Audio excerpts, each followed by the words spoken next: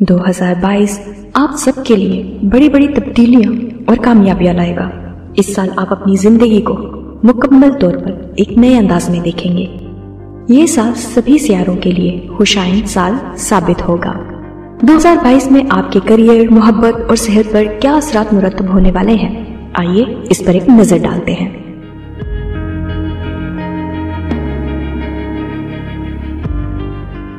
Capricorn यानी बुर्ज जद्दी के लिए ये साल बेहतरीन और खुशहाल साल रहेगा।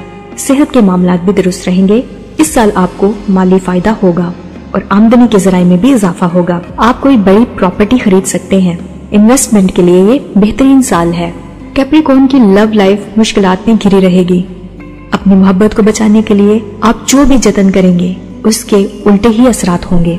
कैप्रिकॉन की इस दवाजी ज़िंदगी इस वर्ष बेहतरीन गुजरेगी। इब्तदाई छह महीने मुश्किल रहेंगे। ये साल कारोबारी अफराद के लिए तरक्कियों और कामयाबियों का साल है।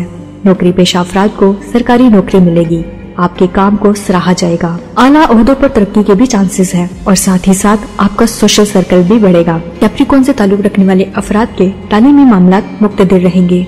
बुर्ज जद्दी से ताल्लुक रखने वाले अफराद की सेहत के मामले इस साल मुतवाजन रहेंगे। अलबत्ता माइग्रेन और जोड़ों के दर्द की शिकायत रह सकती है, जो कि बाद तकलीफ़ का बायस भी बन सकती है। चुनाचे अपनी खुराक पर ध्यान दें।